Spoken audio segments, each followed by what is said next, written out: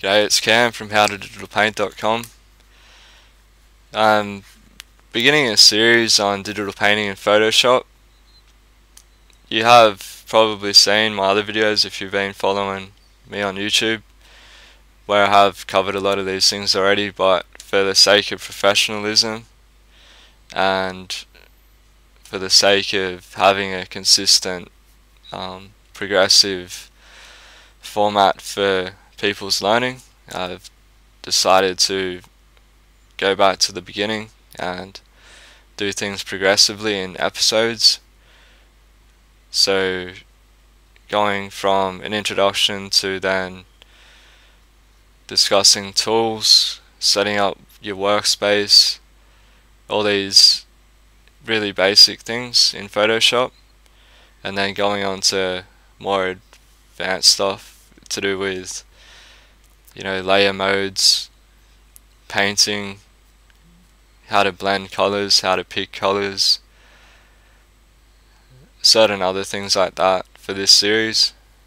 And in videos apart from this series I will be uh, producing videos on more specific things such as painting characters and creatures and all that all that fun so that's the quick overview.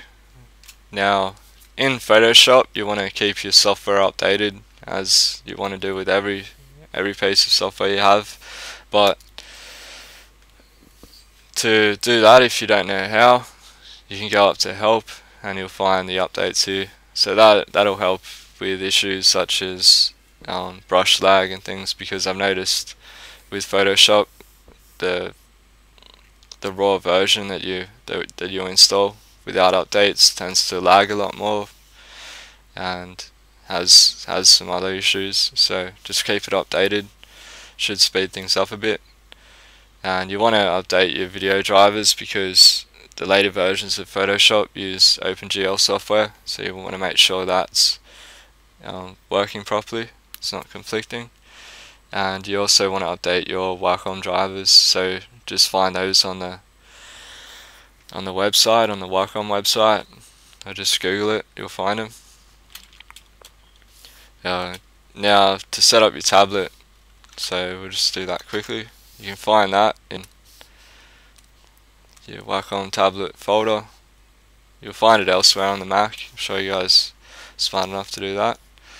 So we want to get it set up for Photoshop so we just click this plus here. We'll find Photoshop in the menu. If we have Photoshop open if not find it in the browse.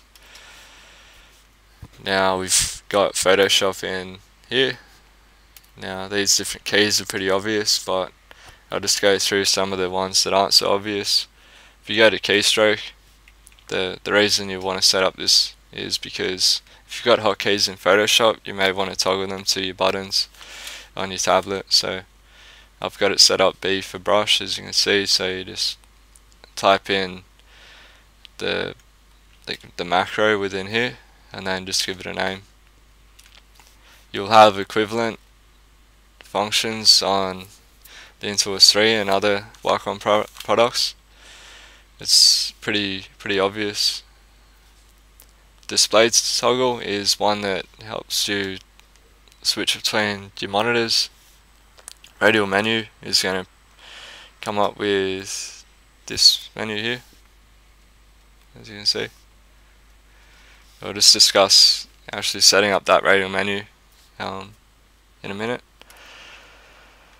Uh, modifier, so you can have all this control shift. You guys can really just go through this yourself and, and find these things. Uh, I'll just talk about the important stuff. Pan and scroll is going to be useful. That just works like spacebar within Photoshop.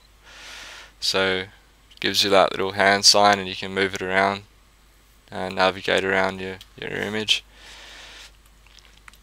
Show desktop just shows your desktop. Switch application is going to work like Alt Tab.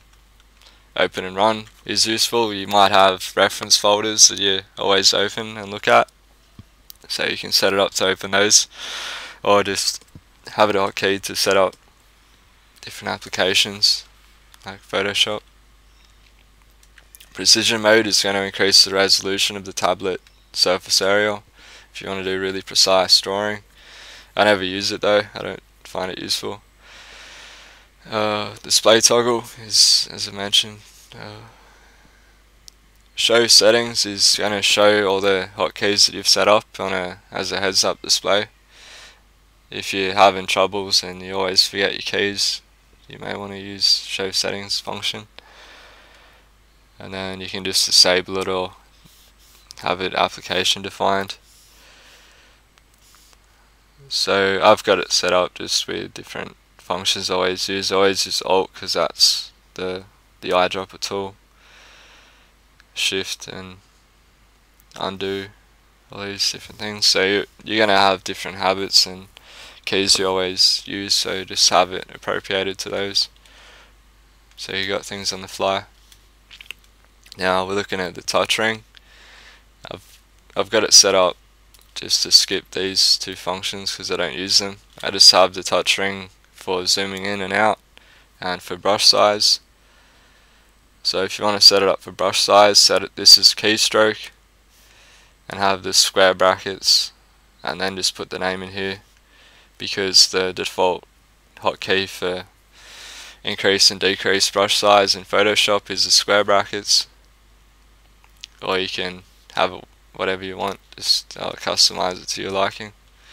You will have the touch strip on the Intuos 3 and I'm not too familiar with the other Wacom tablets. So um, you should be able to be intuitive and figure that out. And uh, display toggle is just if you only want it for one monitor or two monitors. I've got dual monitors so that's why it's coming up with that. Radial menu. Now this is this is pretty useful. I'll give you this tip. I find it heaps useful because you can just have um, you know this menu I'll just show you quickly in Photoshop. So you can see this pops up and then I can switch between brush tool, erase. It's all on the fly, I don't have to go here just find it a lot, lot faster because I do switch between those tools constantly.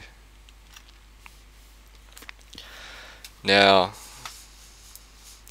to do that, you you just click in the different place you want the the key to be, and you just keystroke, and then just set it up like we did with the with the buttons. So now we're looking at grip pen. Make sure when you switch to grip pen that you click back on Photoshop. Here we can change the brush sensitivity or the stylus sensitivity. You can change what these buttons do. Change the tilt sensitivity. So just change that to your liking, whether you're heavy-handed or light-handed. Uh, you can change the button on the back of here. And we go into mapping.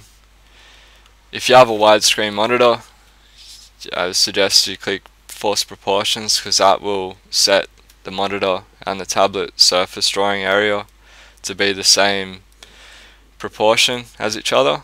So that that will communicate better when you're drawing. And then you can also change this whether you're left or right handed and you can have the options here as well. I've, these are just the default ones I've got because I'm right handed and there may be older applications that support this because the um, Intuos 4 supports 2048 pressure levels whereas older versions of Photoshop might only support this 1024 pressure levels which is with the older older tablets. So that covers that. If you want to save all these functions it will it will keep these when you just close that. But if you if you want to um, keep a little backup file if you reinstall and all that it's good to have. And or if you keep it on a flash drive you can switch put it on your laptop or your workstation. So we find that in the same folder. The Wacom tablet preference file utility and we can just click backup and then create a backup uh, file so we've created a backup now and then yeah and then we can also if you're having problems or you just want to go back to default you can remove all that forgot to mention um, the the glide glove is basically a sock that I've cut holes in. You can get cotton gloves from a dollar shop. And the reason I suggest you make this is because you really want to have your hand slide across the surface. You don't want it to stick and then you'll end up just kind of using your wrist a lot and that'll cause a lot of problems. So I really suggest making one. Um, you can make it cheap or you can get a pair of gloves and stuff. Um, some people just put a bit of paper under their hand which which helps it slide but whatever whatever you fancy but I do recommend this just for ergonomics and also to prevent RSI and you can do some nice straight lines and stuff if your hand's sliding. So yeah. So that covers that. If you guys um, keep following along on the blog howtodigitalpaint.com you'll see the episodes as they progress. And suggest any um please suggest any tutorials you'd like to see if you're having troubles so I can cover cover different things that people are having trouble with. But that covers episode one for the, the introduction and keep a lookout for the videos to come.